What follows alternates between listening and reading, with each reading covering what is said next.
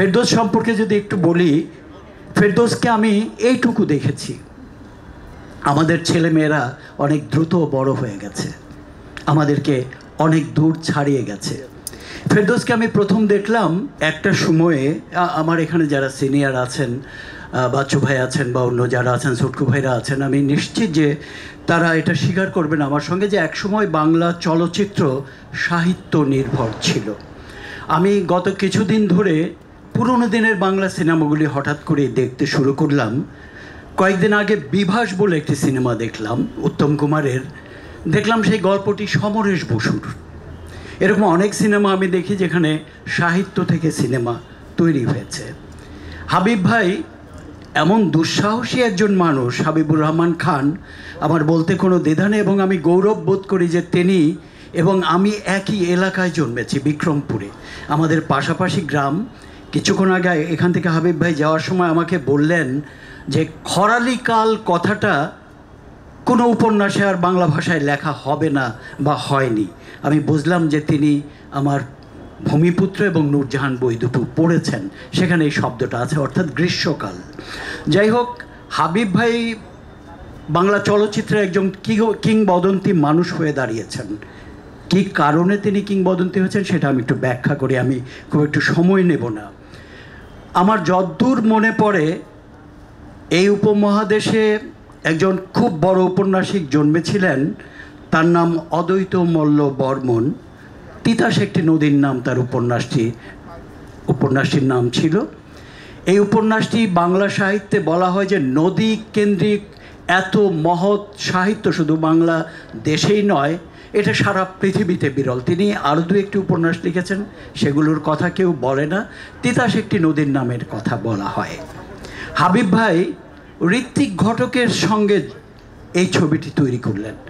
বাংলাদেশে কখনো তিতাস একটি নদীর নাম তৈরি হবে এটা আমরা যারা লেখালেখি করি, কখনো কল্পনাই করিনি। এরপরে দেখা গেল, হাবিব ভাই পদ্মা নদীর মাঝি করলেন মানিক বন্দ্যোপাধ্যায়ের উপন্যাস, যেটি পশ্চিমবঙ্গে অনেকে চেষ্টা করেছেন, সাহস পায়নি, পাননি তৈরি করার। তারপরে হাবিব ভাই করলেন, মনের মানুষ। এটিও একটি সাহিত্যের কাজ। এই উপন্যাসটি লালনকে নিয়ে লেখা, সুনীল গঙ্গোপাধ্যায়ের উপন্যাস। এই যে সাহিত্য নির্ভর কাজগুলো তিনি করেছেন এবং ফেরদোসকে নিয়ে হঠাৎ বৃষ্টি করে তিনি এমন একটি স্নিগ্ধ গল্প উপহার দিয়েছিলেন, যা সত্যি এখনও মনে হয় যে চিরকালীন সিনেমা। চিরকালীন সিনেমাগুলি হঠাৎ বৃষ্টির মতোই হয়। হঠাৎ আসে, কিন্তু টিকে যায় আজীবন। ফেরদোস সম্পর্কে যদি একটু বলি, ফেরদোসকে আমি এইটুকু দেখেছি। আমাদের ছেলেমেয়েরা অনেক দ্রুত বড় হয়ে গেছে। আমাদেরকে অনেক দূর ছাড়িয়ে গেছে।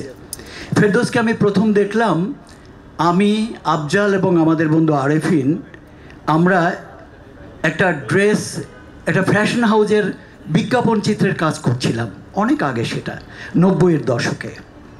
তো সেখানে ফেরদৌস এইটুকু সে আমাদের মডেল হয়েছিল। সেই প্রথম ফেরদৌসকে দেখে এবং ওর বাবা আমাদের ভাই হন। তো সেই ফেরদৌস তার প্রথম ছবি হঠাৎ বৃষ্টি আমি সকালবেলা বইটা ঘেটে ঘেটে দেখলাম। জামাল রেজা আমাকে বইটা দিয়েছেন না, আব্দুর রহমান আমার বন্ধু এখানে বসে আছে, তিনি আমাকে বইটি দিয়েছেন। আমি বইটি ঘেটে ঘেটে দেখলাম, ফেরদৌসকে অপূর্ব লাগল আমার কাছে। মানে নিজেদের সন্তানদেরকে সবসময় একটু বেশি সুন্দর মনে হয়।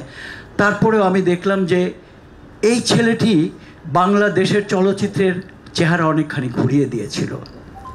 এবং হঠাৎ বৃষ্টি যে রেকর্ড তৈরি করেছিল, এখানে অনেকে আলোচনা করলেন, আমি এর হিন্দি ছবিটাও দেখেছি। বোধহয় অনিল কাপুরের ছোট ভাই, তার নাম সঞ্জয় কাপুর বা এরকম কিছু নাম, সে সিনেমাটার নায়ক ছিল। কিন্তু তার চেয়ে আমার অনেক অনেক বেশি ভালো লেগেছে বাংলাটি, হঠাৎ বৃষ্টি সিনেমাটি। সংবাদ, ফিচার ও অনুষ্ঠানের জন্য ভিজিট করুন সংবাদ প্রকাশের ওয়েবসাইট এবং যুক্ত থাকুন ফেসবুক পেজ ও ইউটিউব চ্যানেলের সঙ্গে।